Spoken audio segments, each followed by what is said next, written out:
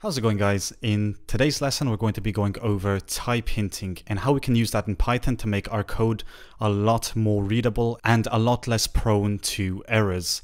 So to get started we're going to go ahead and import from data classes the data class module and we're just going to be using that for demonstration purposes, but it's good to have that. So the first thing we want to do is create a data class and we're going to use this to create some examples. So down here, we're just going to create a class called user, which is going to have a username of type string and a password of type string. So immediately right there in the class, we're already using type hinting.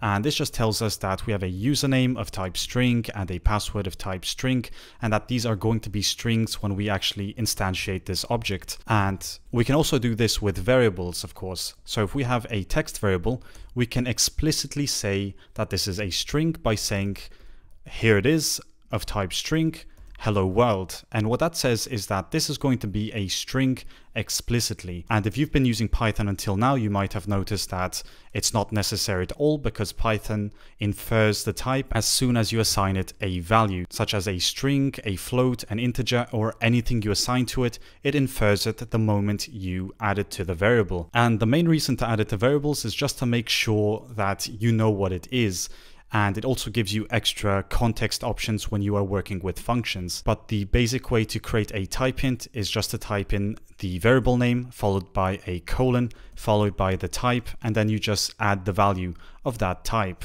and you're only going to be allowed to add that type. So it's a very good way to verify that what you're adding to that variable is exactly that type. So here we can go ahead and type in Mario and the password is going to be Luigi123. And by providing type hinting, it really tells us that we're only allowed to add this. If we try to add something such as a string, it's going to give us an error. So it explicitly tells us that we're not adding the right data type. But so far, we've created a few examples that could easily have gone without having the type hint. Now let's go ahead and create an example that could really use a type hint, such as when we create a function. And this function is just going to print a list of users. So print users, and inside here, we're going to insert some users.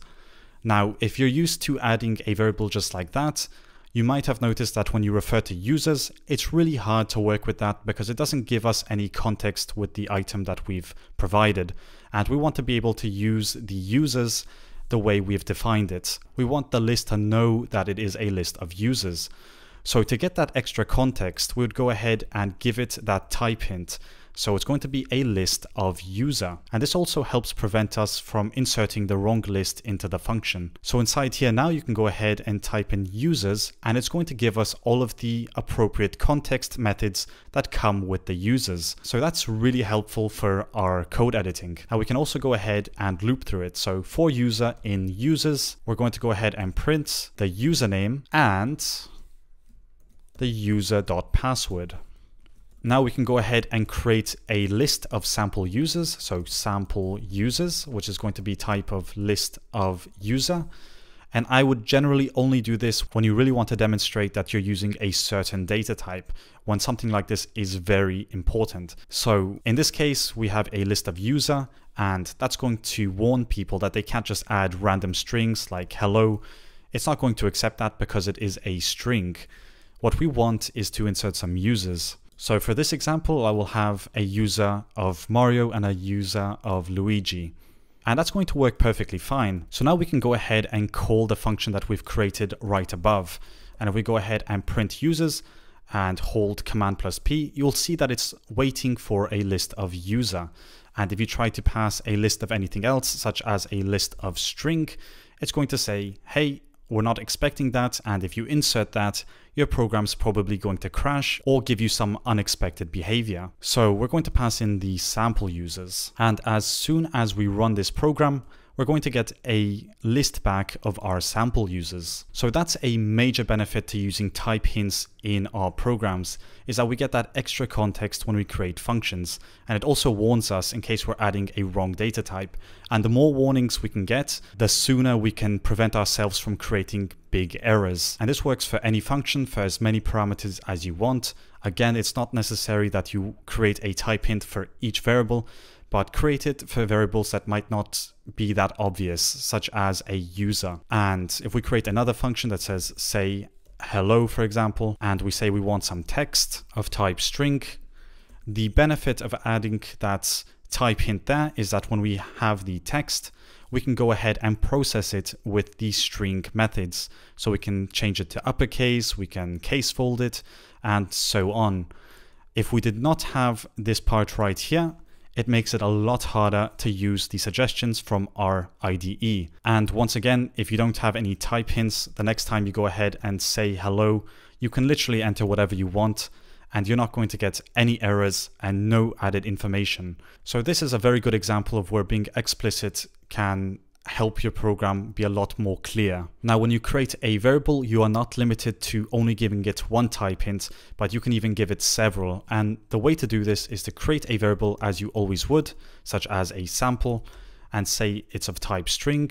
And using the pipeline operator, you can go ahead and add as many data types as you like. So now this can accept a float and a string. So you can say string, and if you change your mind later, you can also go ahead and type in 10.0 or 10, and all of that will be acceptable. But what we cannot do is enter a user of type Mario with a password of 123 because it's expecting you to give it either a string or a float. So let's change this back to, let's say, a string. Then we can go ahead and print the type of sample, and then we can go ahead and change the sample to a float, uh, we can print the type of sample. And when we actually go ahead and run this, it's going to start off as a string, and then it's going to change into a float as soon as we assign it a float. And we can go ahead and assign it a user if we want, such as Mario again of 123. And the program is still going to compile and it's still going to work, but it's going to give you that warning, which is super useful because as you can see, it still prints out with no problems. But what if you create a function that expects a string and you enter a number? You're going to notice that it's either going to crash or it's going to give you some undefined behavior. So being able to have this yellow text box that kind of highlights what you're doing wrong is a big bonus to your programs and just makes it look a lot more professional when you know what you're actually doing. So to sum this up, type hinting just helps us avoid making silly mistakes in our programs and I definitely recommend it. Again, it, you don't have to use it everywhere. I mean, if you have something that's quite obvious, such as a text, chances are that it's always going to be a string. And as you can see here, it's going to say hello world. This isn't something you're going to change that often. So you can easily just say text if you want, but it's definitely recommended for values that might get mixed up, such as if you only want a number somewhere, you might want to add the float type hint because it will just make life a lot easier. But anyways guys, that's actually all I wanted to cover in today's lesson. I hope you found this video useful, but as always, thanks for watching and I'll see you in the next lesson.